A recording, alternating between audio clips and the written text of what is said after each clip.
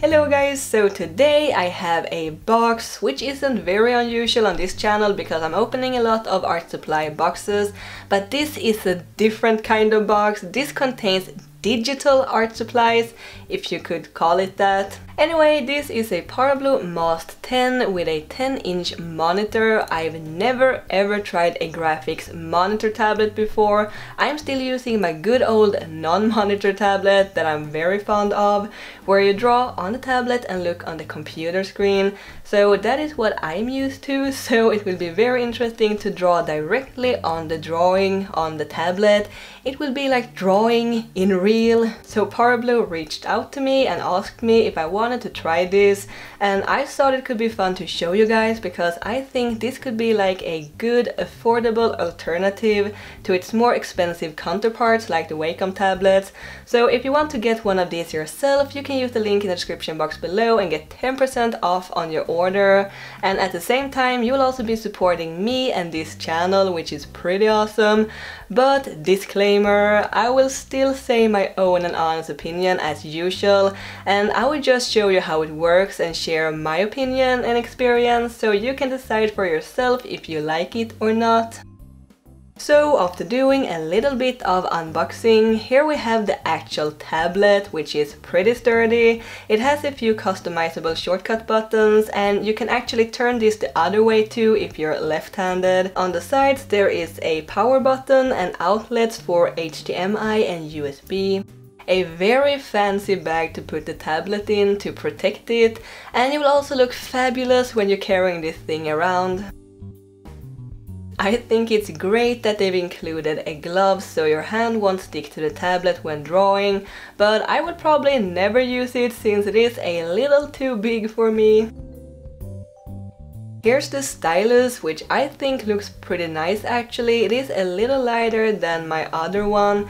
It is a little plasticky perhaps. I kind of miss a rubber grip, but other than that I think it feels quite comfortable to hold. And it is battery free, so you don't have to charge it or anything, which is great. A little tiny sleeping bag for the stylus. And a container with some spare pen nibs and a very handy user manual. And these are things to wrap around the cables I think, which I like, I hate messy cables.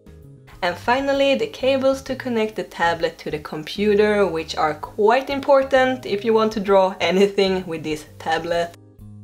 Also, if you are into ASMR, I will put up an ASMR unboxing of this tablet on my bonus channel, so check that out. I will leave a link to it here somewhere. So I plugged it in with all the cords, downloaded installed drivers from Parblo's website and configured the pen and the pen pressure and customized all the shortcut buttons and then it was ready to use pretty much. It also says I should uninstall all the previous tablets but I actually skipped that part because I don't want to mess around too much with my old tablet and all its settings but I don't think it made any different really, I don't hope so anyway. So there is a bit of a learning curve to this, as with all new things. I had to configure the pen a few times to make it feel right, and in the beginning it felt like my hand was in the way, like it covered parts of the drawing more than usual, which is weird since I always draw with my hand, obviously, and it's usually never in the way, but I got used to that pretty quickly I think, because I didn't think of that at all later, and I think it always takes a little time to get used to new things things like new phones or such. Whenever I get a new phone, I let it sit in its box for a week or two before I open it. So I'm drawing this little free-headed kitten, as you may have noticed. Thank you Spirit Animal for suggesting that. I take every chance I can get to draw cats, you know, with too many eyes and too many heads. It was pretty cool to draw directly on the drawing digitally. Comparing to my regular tablet with no monitor, I feel like on this one you are more connected with what you're drawing. Like I can actually apply some of my traditional art techniques or drawing techniques which I am way more comfortable with. So that is a very interesting experience. So which do you guys prefer, traditional pen and paper or digital art and why? Let me know in the comments down below It's always fun hearing your thoughts and ideas. I do actually make a lot of digital work too. In my real job, I make simple little illustrations for children's crosswords, among other things. And I also do a lot of sketching in Photoshop for my traditional work. But I never think of making like real art digitally, which is a shame since I think it is a lot of fun actually. But I think I somewhere made a choice to put all my cards on the traditional pen and paper art. And I kind of overlooked the digital part since I wasn't as good at it, mainly because I haven't practiced as much. And I don't know, I just like the feeling and the smell of real art supplies. But if you'd like to see more digital work here on this channel, just let me know, it might be a good chance for me to practice some more. So as I said before, there is a bit of a learning curve to this, but after sitting one evening just watching YouTube and doodling mindlessly with his tablet, and after getting all the settings the way I wanted, it felt more and more natural and smooth to work with. I like the texture of the surface of the monitor, it is like matte, so I'm guessing it is for preventing reflections, which is good. And it also feels nice to draw on, like there is a little bit of texture gripping the pen, just slightly, like paper, which I like. You can also customize the shortcut buttons for different programs like Illustrator or Photoshop, which is what I'm using. I use the keyboard shortcuts though, because that is what I'm used to. I was a little worried that the stylus would feel uncomfortable after a while, but I didn't think of it at all, so that is a good sign, I guess. One little downside is that there is no holder to put the stylus in when you're not using it, besides that little pouch I showed you in the beginning. So every time I put the pen down and walked away from the tablet to grab a glass of water or something, and when I come back again I have to search around for it because it rolls away really easy and my desk is a mess. I lose pens and pencils and erasers all the time. I will have to try to remember to put it in one of my pen jars so I won't lose it. And another thing that is actually my biggest problem and disappointment with this product and it made me very surprised. There is no stand for the tablet. I think usually there are at least two little legs that you can fold out under it so you can angle the tablet towards you. Now it lays completely flat on the table. I first had to lean over to see what I was drawing so my neck started to hurt quite quickly. So that is quite a flaw in my opinion even if it is a budget tablet.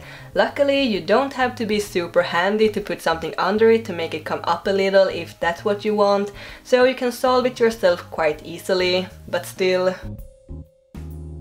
Also, this tablet is quite small, which isn't a bad thing, but it was a little unusual to me at first since I'm used to working on my huge computer monitor, but I got used to that pretty quickly too, so if you haven't used the tablet before, you wouldn't probably even notice it.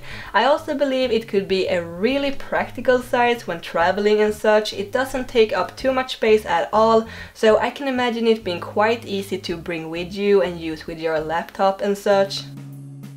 Honestly, I wasn't too fond of this tablet in the beginning, I felt clumsy and I had trouble getting used to the cursor being under the pen and such, but it did actually really grew on me and I have only used it for a few days now and I think it made me want to do more digital work since I felt more connected to the artwork and it overall felt more spontaneous to draw with so I could definitely see myself use this tablet for future work and to practice my digital art skills.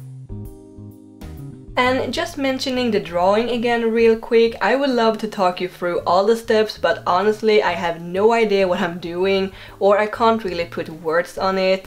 It is a lot of layers and grouping layers and gradients and brushes and all that, but I really love this spacey feeling and this alien cat and I'm especially happy with the planets in the background and the textures, it makes the drawing look less flat.